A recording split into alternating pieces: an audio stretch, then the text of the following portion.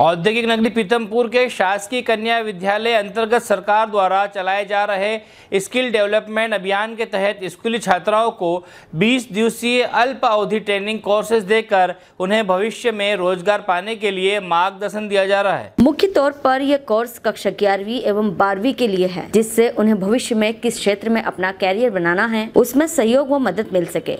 छात्राएँ भी इन कोर्सेज में बढ़ चढ़कर अपनी रुचि दिखाते हुए इस ट्रेनिंग में हिस्सा ले रही हैं। इसी के तहत हेल्थ एंड ब्यूटी कोर्स के तहत शासकीय सामुदायिक भवन में ट्रेनिंग ले रही छात्राओं ने बताया कि इस ट्रेनिंग में उन्हें सीरीज़ लगाना ब्लड टेस्ट करना शुगर एवं बीपी की जाँच करना इमरजेंसी के तहत प्राथमिक उपचार किस प्रकार दिया जाए, यह सिखाया जा रहा है। पिथमपुर से संजय सोनगरा की रिपोर्ट। क्या संदर्भ है उसका सर, ये ऑन द जॉब ट्रेनिंग है, बच्चों को रोज़गार के लिए, उनका जो स्कूल में ट्रेंड चलता है, हमें गवर्नमेंट स्कूल से ही गवर्नमेंट पितमपुर स्कूल से गर्ल्स स्कूल से, जहाँ पर वोकेशनल ट्रेनिंग वोकेशनल कोर्स है हेल्थ और ब्यूटी के, मैं हेल्थ की टीचर हूँ, बच्चों को ऑन द जॉब ट्रेनिंग दे रही हूँ बीस दिन की, वहाँ पर बच्चों को मैं गवर्नमेंट हॉस्पिटल में लेके आई हूँ, जहाँ पर उनकी ट्रेनिंग हो रही है हेल्थ की, वहाँ पर बच्चे अपनी शारीरिक मानसिक और जो भी विकास होता है स्वास्थ्य का वो सब ज्ञान ले रहे हैं और आगे चलकर ये अपना